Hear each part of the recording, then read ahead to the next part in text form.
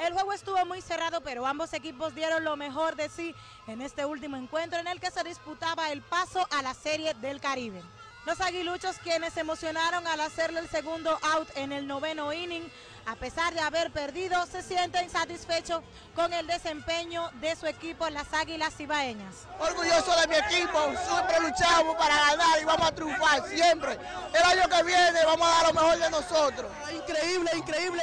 Cualquiera de los dos equipos que hubiese ganado estaría bien porque se disputó, un juego totalmente disputado, pero las águilas siempre arriba, siempre. Los escogidistas no podían ocultar su alegría por esta victoria que les dio el gran salto a la Serie del Caribe.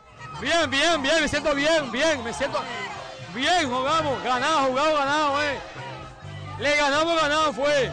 Pero ganamos, el mejor equipo de República Dominicana, carajo, ganamos. Teníamos presión, claro, como todo equipo, pero sabíamos que íbamos a ganar.